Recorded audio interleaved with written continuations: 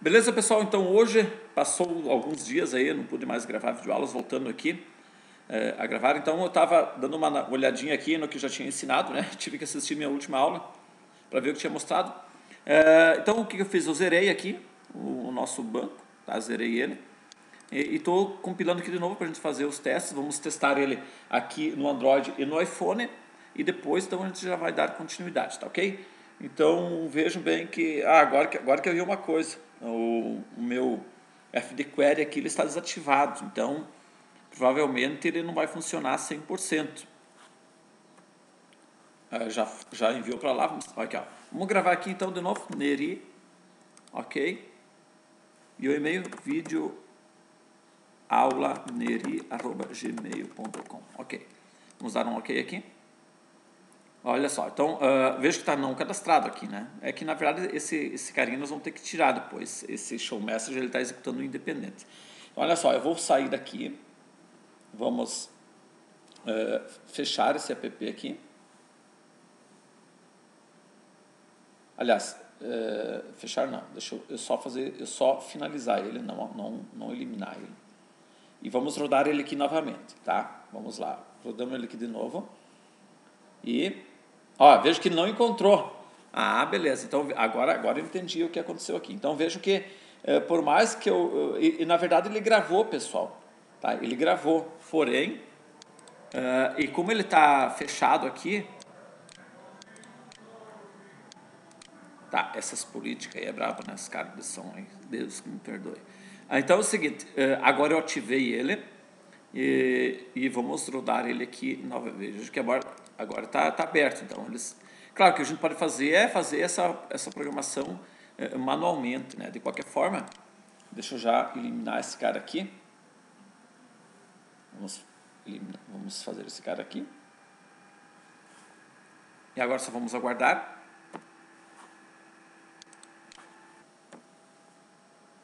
Beleza? Ó, beleza, não está cadastrado. Vamos salvar o Nerizon de novo. Ok tudo no Android, né? E-mail, então, tá aqui neri, arroba, alguma coisa, só pra gente, só pra gente botar qualquer coisa aqui agora, ok? Ok, então tá lá o Neri, né? Cadastrou, beleza. Vamos fazer o seguinte agora, vamos, vamos eh, apagar esse cara aqui.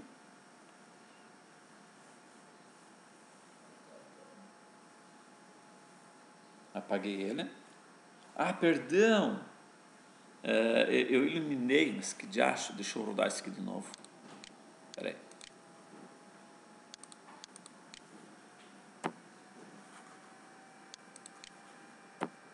Eu só queria, na verdade, ter finalizado e aberto de novo para vocês verem que agora ele iria aparecer lá. Mas tudo bem, vamos aguardar aqui de novo, vou dar um pau.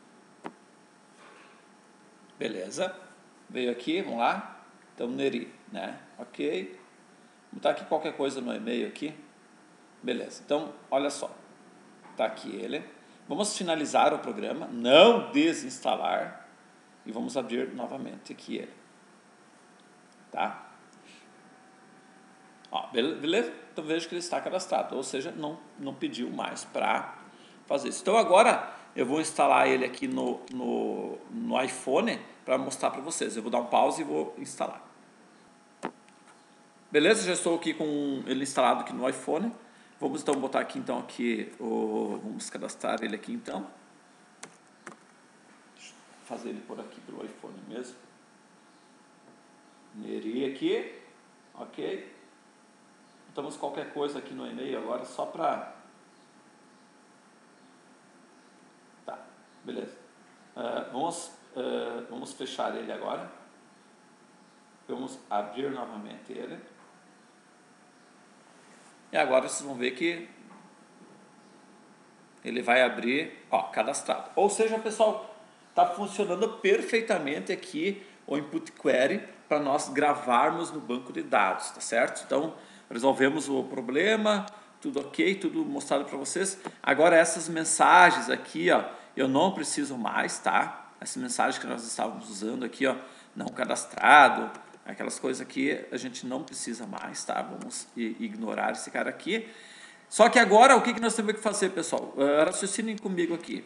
Veja que nós temos o nosso app aqui, está funcionando. Uh, vamos supor que por algum motivo a pessoa quisesse a pessoa quisesse, ah, botei o nome errado, sei lá, eu quero, eu mudei o meu e-mail, não é mais aquele e-mail, o e-mail é da empresa, agora estou com outro, enfim, por algum motivo a pessoa quisesse mudar esse camarada, como é que ele ia fazer? Veja que nós não implementamos nada, absolutamente nada aqui para que o, que o cara pudesse é, alterar, ou simplesmente, ou simplesmente, por exemplo, o pessoal uh, modificar a questão, ou simplesmente visualizar o e-mail, que o cara não tem nada que possa estar visualizando.